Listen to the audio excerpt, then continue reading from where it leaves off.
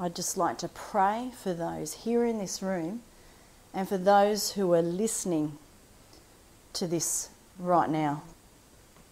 So, everyone under the sound of my voice, I want to pray for you and for your breakthrough. Father, in the name of Jesus, the wonderful name and authority of Jesus, if there is any sickness or disease in your body or your husband's body preventing you from conceiving or carrying healthy babies to term, then in that authority, I command that sickness, disease, or condition to be uprooted and removed right now. And I pray for God's love to be poured all over you, in you, and through you. For His love to be made manifest in your physical body. Because you cannot separate God's love from His healing power, because that is who he is. So I pray for the healing power of God to restore your body to perfect health and wholeness. Mm. That if there is something missing in your body, that whether it's been removed by surgery or corrupted or deformed through sickness, scarred through sickness and disease, I just pray for a creative miracle to be released in your reproductive organs restoring your bodies to perfect health and wholeness. Thank you, Jesus, that when you created us, you blessed us to be fruitful. Having babies is your plan and purpose and design. So, in the wonderful name and authority of Jesus, I call your baby into manifestation now.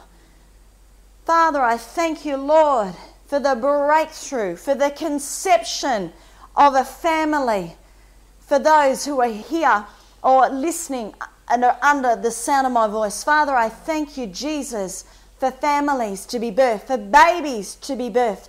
Father, we also pray, Father, for the perfect implantation, for the perfect growth and development, that no weapon formed against the baby or the pregnancy will prosper.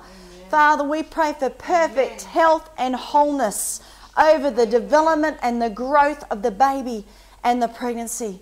And Father, we thank you, Jesus, that none will miscarry, none will be barren, and that there will be a full lifespan as you intended from the beginning. So thank you, Jesus. Hallelujah. Thank you, Jesus, for your breakthrough here, that you make a way where there is no way. In Jesus' wonderful name. Amen. Amen. Amen.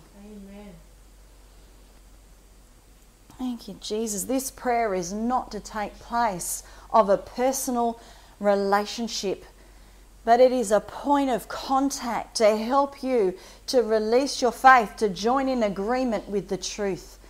And Father, I thank you that uh, over this prayer, that many will be able to connect, many will be able to find you and connect with you and to experience the breakthrough they need.